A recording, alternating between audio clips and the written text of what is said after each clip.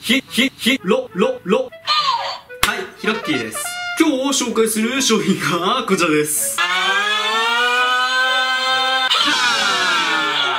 い、こちら、アーシングキットです。今日もね、車のね、動画にしようと思います。アーシングって皆さんご存知ですか？ご存知ですか？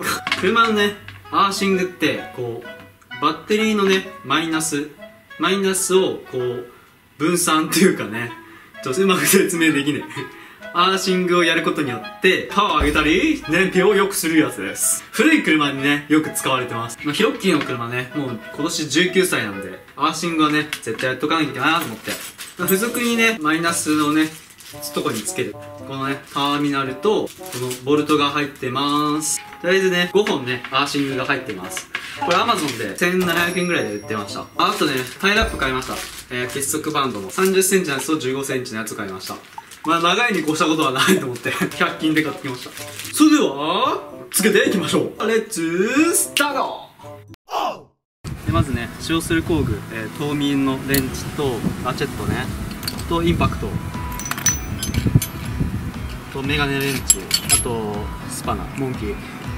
はい、この辺かな。どこにつけようかなってね、迷いました、ヒロッキー。で、純正のアース部。アース部がここにあるんですよ。これが純正のアースです。でね、えー、とあとつける部分はカバー外して点火系の近くにアースがあるのでそれを取りますで2個2個でしょ？であともう一つがえー、とあとね純正のアースがここにありますこいつこれを外してここにもつけます。あとはあとは適当につけたいと思います。じゃあねまずねこいつここのねやつを外してここにアースを追加したいと思います。で一応感電しないように、えー、軍手します。じゃあここのアースを取っていきます。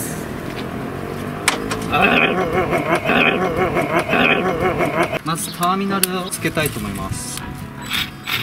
で全部取っちゃいます。こういう感じでね。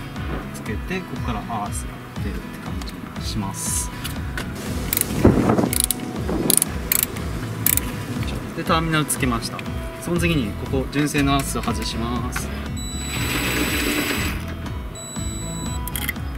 で一番短いやつをねつけなきゃいけないから。でこれはまだつけません。すると、えー、ここにアースがあります。これ。このねアースをつないでいきます。アース2個追加で。不器用だから。そしたらこれをこのアースをこのアースにつけたいと思います。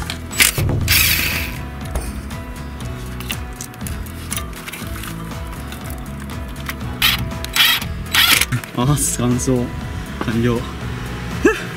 疲れた。ヤクリのねこのとこにスロットルがあります。このスロットルにアースがこれアースポイントです。なのでこのネジを取っていきます。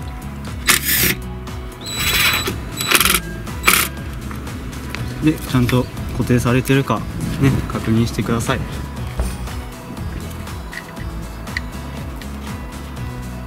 仮止め OK そしたら、えー、これをどこにつけようか今考えますどうしようかね。どこにつけよう。こっちにしよう。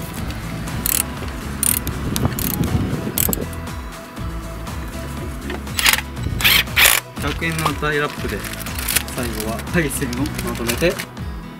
ちょっと余裕があるで締めといて。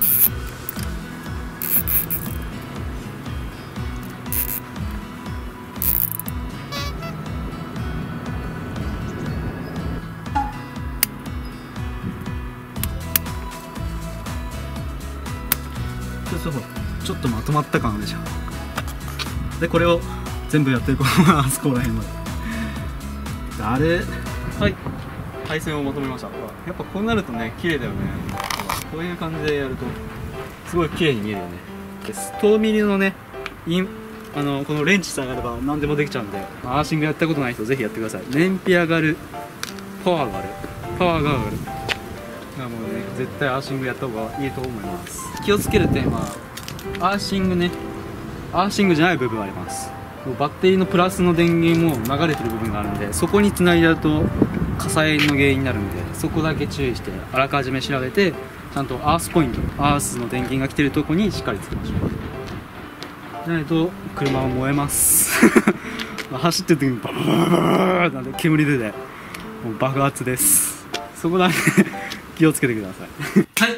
今回の動画はこれで終わりです。見てくれた人ありがとうございます。チャンネル登録ぜひお願いします。